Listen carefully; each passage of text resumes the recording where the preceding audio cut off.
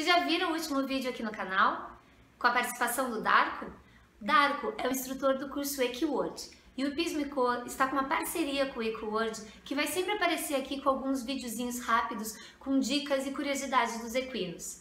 Por sinal, você já se inscreveu aqui no canal? Então se inscreve para não perder nada. Fica atento que agora eu vou deixar vocês com o Darko que vai falar sobre um livro muito interessante. Bom dia, amigos. Meu nome é Darko. Eu estou aqui no Centro Hípico da Malva, preso, já que chove há três dias sem parar.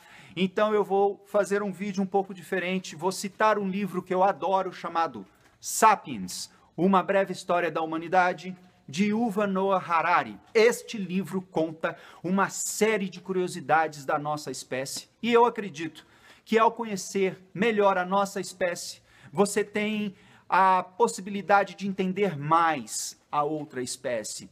E ele conta um fato curioso, inclusive, ele fala da fofoca. É a primeira vez que eu vejo alguém citar a fofoca como uma coisa boa, que a fofoca foi uma maneira que nós encontramos de nos defender de nós mesmos. É, nesse livro ele fala do momento da revolução cognitiva que aconteceu há 70 mil anos atrás, da revolução agrícola, que é quando nós começamos a domesticar animais e plantas, e da revolução científica em torno de 500 anos atrás. Eu vou ler um trecho que ele fala da domesticação dos cavalos.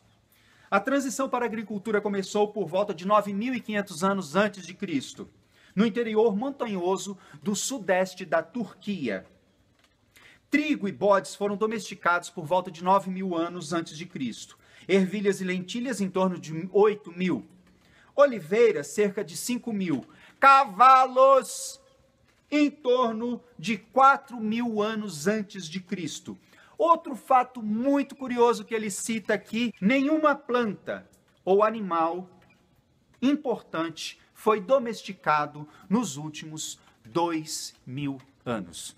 Sobre tudo isso e muito mais, nós vamos falar no curso EquiWord nos dias 9, 10 e 11 de junho próximos. E eu gostaria de agradecer a Ju Ribas, que nos concedeu a parceria com a Episman Co., Ju, você está convidada a vir conhecer o Centro Hípico quando quiser. Ao participar do curso EquiWord, você está contribuindo para a organização que resgata animais sob situações de risco, chamada Cocheira Fraterna.